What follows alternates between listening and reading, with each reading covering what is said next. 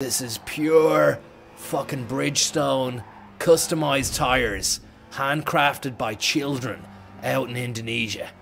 And we have, they were chiseled, chiseled non-stop for hours. And you might think that's pretty bad, guys, but they actually earn a great wage. When you think about it, when it's all, it all adds up in the end. It, it's all relevant to their economy. You know, you do get a lot of greens saying to you, you know, it's not ethical to drive that kind of machine, that kind of torque, that kind, that kind of horsepower, that kind of HP, that kind of torque. You know, your carbon footprint is going to be too big. I have a friend who's always banging on about that Fiacre. I said to him, do you know what, Fiacre? Do you want to see my carbon footprint? Yeah, Fiacre.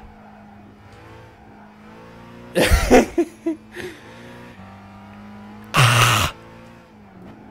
Do you want to see my carbon footprint, Fiacre?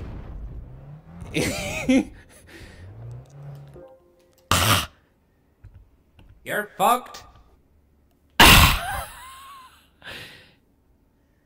I just said, do you want to see my carbon footprint, Fear? Unzip the pan, unzip the G-Star Raws. I just got it out and said it's.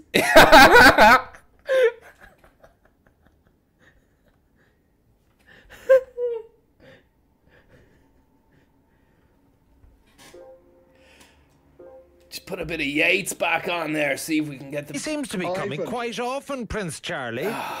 No, you're right. He's come a lot in the last five years. He first visited in 2002. This is his fifth Who visit since fuck is this? 2015.